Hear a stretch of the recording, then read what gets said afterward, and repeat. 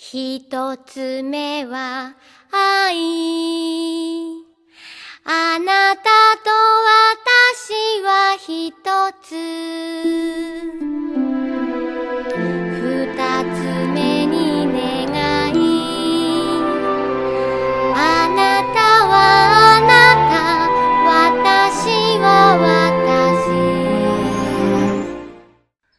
สวัสดีท่านผู้ชมทุกท่านยินดีต้อนรับเข้าสู่รายการอาร์ตปกติกันอีกครั้งนี่คือสกู๊ปโดราเอมอนกันนะครับในครั้งนี้เป็นการเจาะประเด็นโดราเอมอนที่กลับมาอีกครั้งนะครับ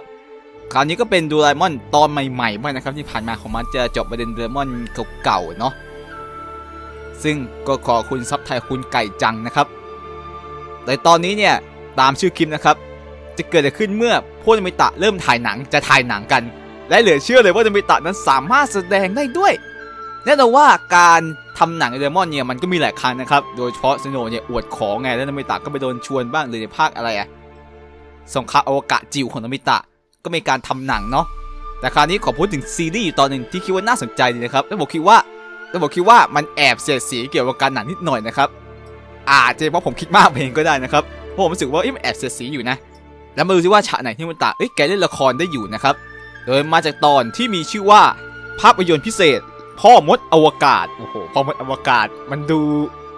เจ๋งดีเนาะคือแบบพ่อมดอวกาศอะมีความเป็นแฟนตาซีไซไฟนะครับ รวมกันเลย โดยเปิดมาเนี่ยก็เป็นฉากหนังก่อนเลยนะครับ ฉากทำหนังก่อนเลยแบบ final product นะครับ ว่าโอ้โหมียานเอเลี่ยนเนี่ยโจมตีเมืองนะครับเราเห็นว่าโนบิตะนั้นร้องไห้อะก็เข้าใจว่านามิตะก็ขี้แงนะแต่การจะร้องไห้แสดงอะมันก็ไม่ใช่ง่ายๆเนาะ แต่น้ำตานี่คือแบบร้องไห้แง่ๆเลยนะครับชิสกะคือก็น่าเล่นละครเก่งอยู่แล้วแหละ แล้วก็มีดูไลมอนโผล่มาเป็นอุลตร้าแมนนะครับอุลตร้าแมนโพสนะครับ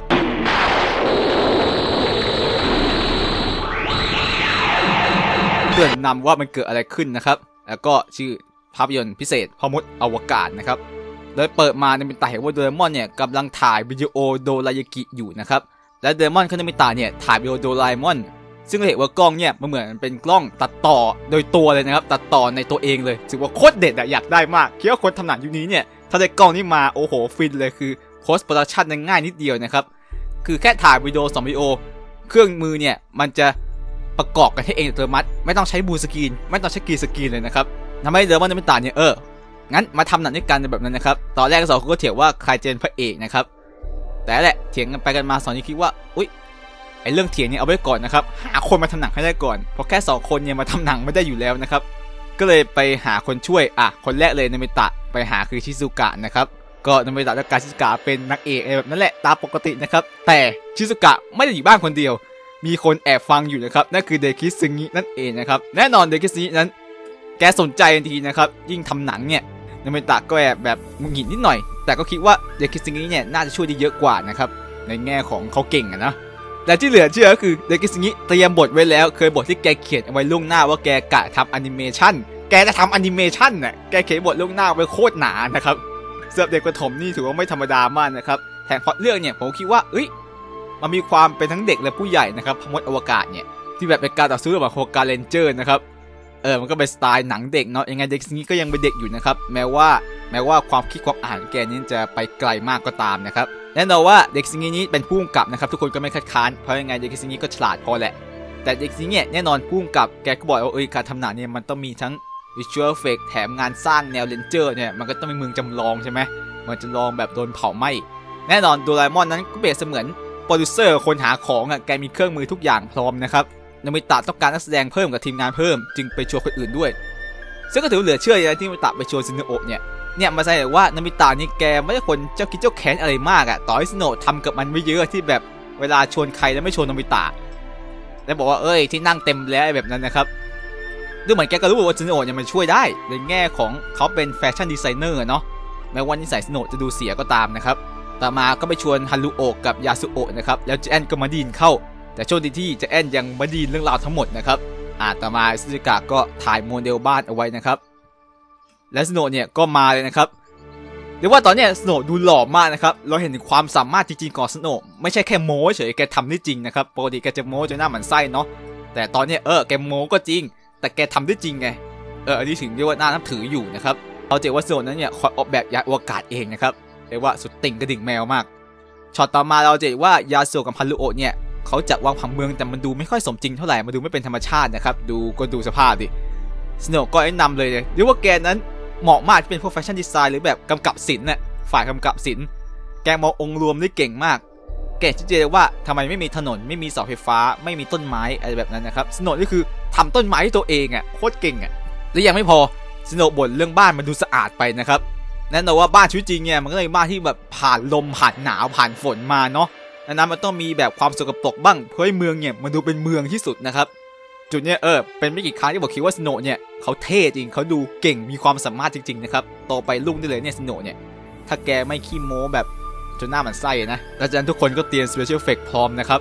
แล้วก็เริ่มถ่ายทำเรียกว่าตอนนี้ซูเนโอะนั้นโชว์ของเยอะมากนะครับนอกจากเป็นฝ่ายศิลป์แล้วยังคอยดูแล Special Effect อีกเนี่ยเราเจอว่าเออแกทำเอฟเฟกต์ระเบิดนะครับแบบกดจังหวะให้เมืองมันระเบิดเนาะทุกคนก็แบบโอ้ฟินมากนะครับการทำลายล้างเมืองที่ทรงพลังมากนะครับ ช็อตต่อมาเหมือนทุกคนวิ่งหนีตัวร้ายนะครับเราเจอว่าโนบิตะนั้นวิ่งได้น่าตื่นตระหนกมากนะครับ ถือว่าใช้ได้ ซึ่งทุกคนก็บอกว่าจินตนาการเอาไงว่าตัวเองหนีจะแอนมานะครับ เนี่ยการแสดงต้องจินตนาการจากสิ่งใกล้ตัวเนาะบางคนน่ะเนมิตะก็จินตนาการว่าตัวเองหนีจะแอนอยู่นะครับ ก็นับว่าน่าสนใจนะครับ ปกติเนมิตะนั้นแกจะเป็นคนเล่นแข็งทื่อมาก แต่ในเหมือนเรื่องเนี้ยเราเจอว่าเนมิตะนั้นไม่ค่อยพูดเท่าไหร่นะครับดูเหมือนเด็กซิงเขาเกลียบทดีนะ เขารู้ว่าเนมิตะนั้นพูดไม่เก่ง ก็จึงส่วนใหญ่ให้นามิตะเนี่ยแสดงเป็นเหมือน physical acting เลยนะครับ ฉากตื่นตระหนกฉากร้องไห้อะไรแบบนั้นนะครับ ต่อมาพวกเรือมันก็เปลี่ยนสถานที่ไปถ่ายที่ภูเขาหลังโรงเรียนนะครับ แต่ที่น่าสนใจก็คือรูปแบบการถ่ายทำของเด็กนี้แปลกนี่นะ คือเขาไม่คัดนักแสดงพร้อมก่อน ประมาณว่าอะพวกนายเล่นจบแล้วต่อไปก็หานักแสดงสดๆตรงนั้นเลยนะครับ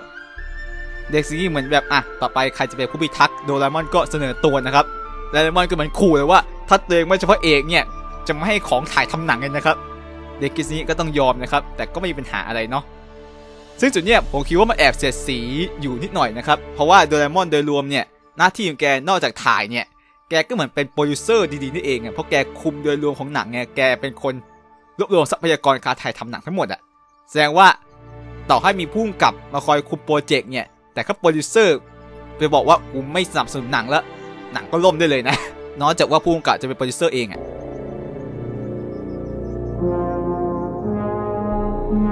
และเราเจอว่าโดราเอมอนนั้นคือแบบอินการแสดงมากคือพูดในสิ่งที่ไม่อยู่ในบทนะครับ จนเด็กคนนี้ต้องสอกซิกว่าเอ้ยพอได้แล้วจนกระทั่งไจแอนท์นั้นปรากฏตัวมานะครับ จุดนี้อย่างที่บอกซูเนโอะนั้นเด่นมากด้วยความซูเนโอะนั้นเป็นคนยอไจแอนท์เก่ง แกเป็นคนหลอกล่อไจแอนท์เก่งด้วยความที่มันเจ้าเล่ห์อยู่แล้วนะครับ แกก็รีบชวนไจแอนท์มาร่วมแสดงเลยนะครับ ไม่อยากให้แบบมีปัญหาการถ่ายทำเนาะโดยเป็นการหลอกเจแอนที่แจ้งจริงๆอะแกนระบบเป็นตัวร้ายเป็นพ่อมดอวกาศ แต่ตีเนียนไปว่า ให้แจ้นเหมือนพระเอกนะครับ และตัดต่อใหม่ที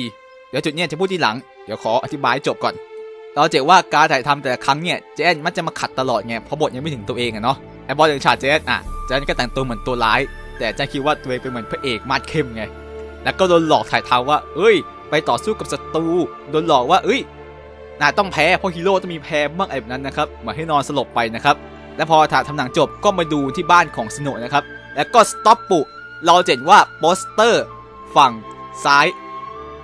ไอตัวสอนน่ะไม่รู้มันอ่านว่าอะไร แต่รูปไข่สีเขียวนั่นถ้าเกิดใครเป็นคนหนังก็จะรู้ว่านี่คือโปสเตอร์ของหนังเอเลียนนะครับเอเลียนภาคแรกของปี 1979 นะครับเรียกว่าซูเนโอะนั้นดูหนังสยองขวัญตั้งแต่เด็กเลยเนาะหนังสยองขวัญโหดๆตั้งแต่เด็กเลยนะครับ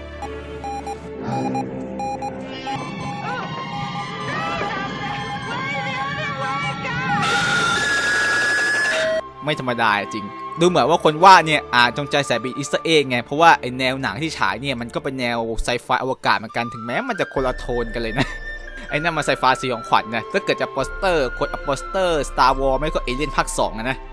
เราจะเห็นว่าโอ้โหแต่หนังเสียงการมาก และชอบคือเจะแอนเนี่ยถูกนำมาตัดต่อใส่ให้ดูเนียนว่าแกเนี่ยเป็นตัวร้ายชัดเจนเลย โดยเจแอนเขาจะผิดเพราะเธอเป็นฮีโร่นะครับ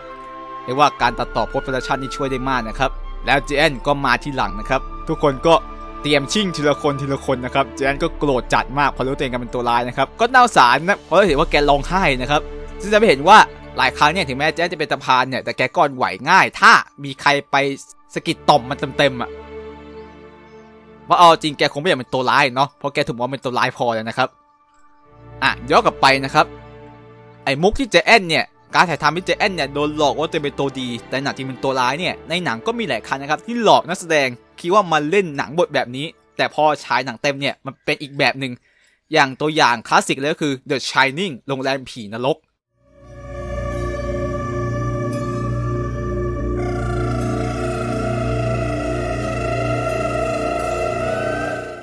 หนังของ Stanley Kubrick นะครับ หนังนี้เนี่ย อย่างที่เห็นว่ามันเกี่ยวกับ 3 พ่อแม่ลูก ไปดูแลโรงแรมในช่วงที่ไม่มีใครอยู่ไงหน้าหนาวเนาะหิมะตกหนักไม่มีใครมาอยู่ แต่โรงแรมเนี่ยมันมีอะไรบางอย่างอยู่นะครับแล้วก็เกิดเรื่องขึ้นนะครับ แบบพ่อประสาหลอนนะครับไล่ฆ่าลูกเมีย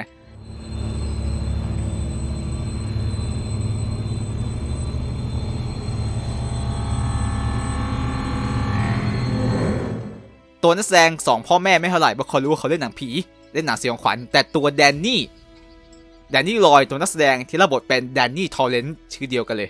ด้วยความที่เขาจะเป็นเด็กเนี่ยการมาเล่นหนังโหดเนี่ยมันเป็นอะไรที่เหมือนเขายังมีกฎหมายคุ้มครองเด็กในการถ่ายทำหนังเนาะคูบิกกับทีมงานเนี่ยจึงหลอกแดนนี่เลยว่านี่ไม่ใช่หนังผีแดนนี่ไม่รู้ซะว่าตัวเองเล่นหนังผี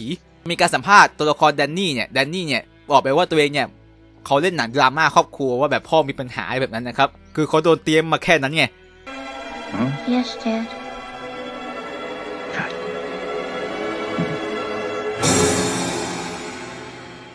และบางฉากอะมันมีฉากแดนนี่เจอผี ซึ่งก็ใช้การตัดต่อเองนะครับประมาณว่าตอนแดนนี่ขี่ปั่นจักรยานสามล้อไปเจอแฝดเด็กเนี่ยผีแฝดเด็กเนี่ยในเบื้องหลังเนี่ยไม่มีผีแฝดอยู่ในฉากจริงๆนะครับเป็นการตัดต่อมา ซึ่งผมสงสัยว่าแล้วไอ้ฉากตอนโดนแจ็คเอาขวานไล่ตามเนี่ยแต่เราก็เห็นว่ามันไม่มีฉากที่แบบแจ็คกับแดนนี่เจอกันโดยตรงไง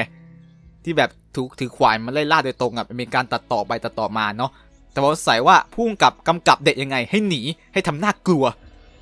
บอกยังไงเฮ้ยพ่อจะได้ฆ่าเธอแล้วแบบนั้นเหรอแล้วกว่าแดนนี่จะรู้นี่ก็โตแล้วไงเพราะว่าโดยสมัยนั้นเนี่ยมันมีกฎที่ว่าถึงแม้จะเป็นดาราเด็กที่เล่นในหนังเรต R เนี่ยเขาห้ามดูหนังตัวเองจนกว่าจะโตนะครับอย่างอะไรเด็กชุดแดงในหนังชิลเลอร์ลิสเนี่ยเธอก็ถูกห้ามห้ามดูหนังชิลเลอร์ลิสหนังเกี่ยวกับการฆ่าล้างเผ่าพันธุ์ยิวเนี่ยได้ตอนนั้นต้องรอเธอโตก่อน แต่เธอก็ดันแอบดูนะครับจนกลายเป็นแผลใจเธอเลยว่าแบบเธอไม่ควรดูตอนนี้ไงมันเป็นหนังที่ค่อนข้างจะหดหู่แบบนั้นนะครับก็เลยถือว่าตลกดีที่มี moment ที่เหมือนแอบเสียดสีหรือแบบ พูดถึงการสร้างหนังจริงๆเนาะแต่นี่คือผมอาจจะคิดเองก็ได้ด้วยความที่มันเหมือนไงมันเหมือนเฉยๆนะครับแต่ในคลิปนี้ก็เห็นว่าเออ แต่ละคนเนี่ยก็มีความสามารถในการแสดงหรือว่ามีความสามารถมากกว่าที่เห็นอย่างสโนเนี่ยหลายคนก็รู้ว่าเขาเป็นแฟชั่นดีไซเนอร์เขาเก่งอยู่แล้ว แต่เราเห็นความสามารถจริงๆในตอนนี้นะครับว่าเขามององค์รวมของฉากได้ดีแค่ไหน เขาเอาแบบดีไซน์ยานอวกาศ จัดวางผังเมืองก็ทำได้ดีมากนะครับในกิสนี้ก็เก่งอยู่แล้วแหละกำกับเนาะ นาบิตะก็แสดงได้ดีกว่าที่คิดนะครับ ทั้งฉากตื่นตระหนกและฉากร้องไห้ ก็ถือเป็นตอนที่บันเทิงตอนหนึ่งสำหรับคนชอบดูหนังเก่าๆอย่างผมนะครับก็ไม่เนาะแล้วท่านผู้ชมคิดเห็นไงก็มาคอมเมนต์กันได้นะครับช่องอันตอทีนก็ซิล่าเอ่ยลูบี้เอ่ยแปซิลิเอ่ยโดแล้วมันเพียเตอร์เทอร์มิเตอร์คอมไมก็คือตามเนี่ยนะครับ ผมมีเฟซบุ๊กฝ่ายตัวเคยถามเรื่องถามในเฟซได้ในทูไม่สต็อปเมื่อไหร่สำหรับวันนี้ก็ตัวลาไปก่อนสวัสดีครับ